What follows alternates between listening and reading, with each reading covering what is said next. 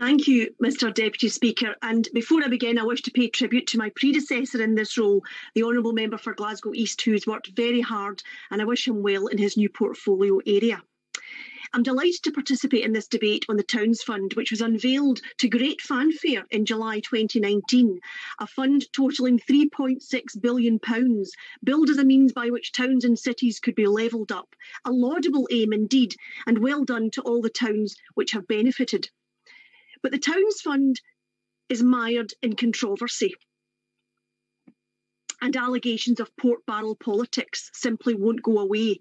We've heard today from a number of members how nearly two thirds of the town's awarded funds were target Tory seats in the general election that followed a mere two months after the awards had been made. Of the 100 towns invited to work with the government on new town deals worth up to £25 million, 61 were marginal seats. Are we to believe, Mr Deputy Speaker, this was purely coincidence? What are the public supposed to think when the two housing ministers who were involved in the distribution of the Towns Fund had towns in their own constituencies benefiting from this fund weeks before an election? And the Secretary of State will surely recall how, on the one hand, he denied having any involvement in his constituency benefiting from a £25 million grant weeks before the general election, yet during the general election, taking credit for that grant. This only feeds allegations and suspicions of pork barrel politics. What we do know is that the Ministry for Housing, Communities and Local Government drew up a ranked priority list of towns for the fund based on need and the potential for development, and another 61 medium and low priority locations were also chosen. The smell is so bad that the Public Accounts Committee, in a damning report, concluded that it was not convinced by the rationale for selecting some towns and not others, with justifications offered by ministers for selecting individual towns as vague and based on sweeping assumptions, and that the system gave every appearance of being politically motivated. And, Mr Deputy Speaker, this damning report is even more astonishing when you consider that the majority of the members on the Public Accounts Committee are Tory MPs. This might seem to members of the public to be what, in Commons parlance, might be called a fair cop. And that's why there's so much concern about the Shared Prosperity Fund, which is also looking suspiciously like it might be perceived as just another political tool. But we still don't know how the Shared Prosperity Fund will work or when it will be made available.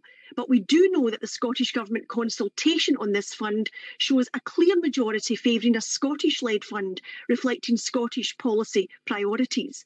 And we remember the grand words of the Communities Minister in 2019, who said that as far as the UK Prosperity Fund was concerned, the devolution settlement would be respected. Let us hope that that will be the case. But there is growing unease about how public funds, as in the case of the Towns Fund, which are supposed to be for the promotion of the public good, instead are used for political ends. This has been followed by questions being raised about a lack of trans- transparency and accountability as to how public money has been spent, both with regards to the Towns Fund and the awarding of contracts generally.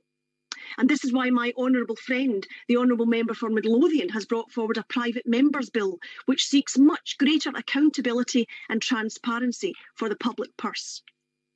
If towns funds are truly to help towns, the deployment of cash must be more transparent and based on need. Now, the stench around the Towns Fund is pretty strong, and it's deeply concerning if the same questionable criteria are applied to the UK Prosperity Fund. Public money is just that it's the public's money, not a resource to be deployed for political or other purposes. It must be used transparently and in the public's interest. And I say to the Minister if something smells very bad, it often is because it is very bad. So, what assurances can the Minister give this House following the publication of the Public Accounts Committee report and in order to address concerns about the administration of the UK Prosperity Fund, will he commit today to ensuring this will be administered by the Scottish Government and the devolution settlement will be respected as was promised when this fund eventually sees the light of day?